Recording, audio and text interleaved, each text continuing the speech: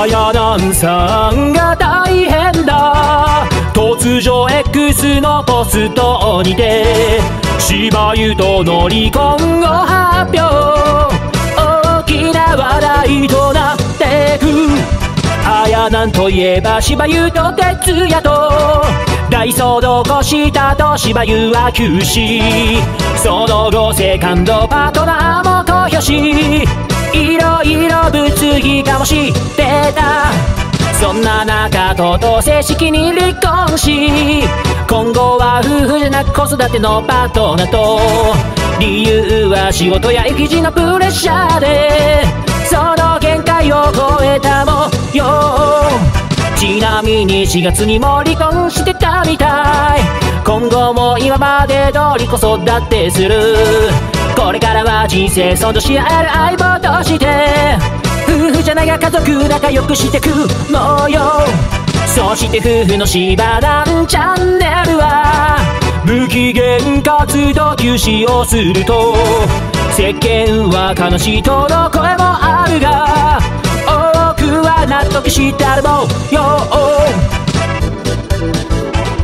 トータルテンボス藤田さんがやばい。ドラレコが投稿される。赤信号で停止する直前にバイクが横から来てクラクション鳴らす。そしたらバイクの人が切れて降りてきて。よく見りゃトータルテンボス藤田さんらしき人。ウインカー出してたよなこれおい出してないよ。出したんか出してないよ。出してんじゃねえのかその後移動しろ中をしてこっからさらに口論が勃発。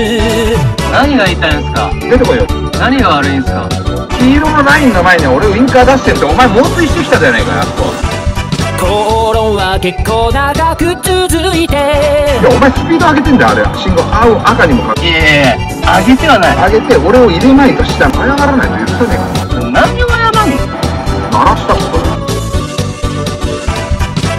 く鳴らしたのを謝らせたいわよ車の方はあんま時間ないっぽくいやちょっとね時間ないわごめん。もう悪かったわほんと。うんじゃあねとりあえずその場は収まる。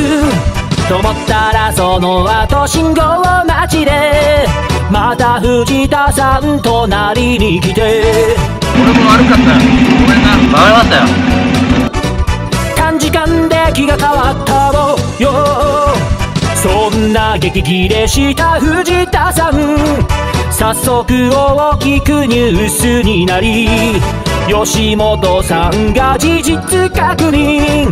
本人はもう接してるもよそんな中藤田さん炎上するが車側も悪いとの声も多いがとにかく藤田さんダメージでかいもよとはいえしょうもないと世間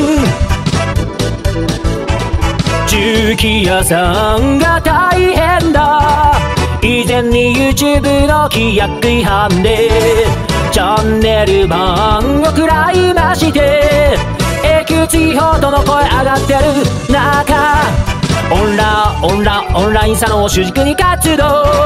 そんな中ついに YouTube に復帰。一部は歓迎してるけどほぼ叩かれながら復帰度が出す。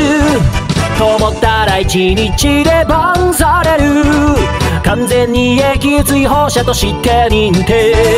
喜ぶ人も続出の模様で。悲惨すぎる重機屋さん。いろいろ起きてる YouTube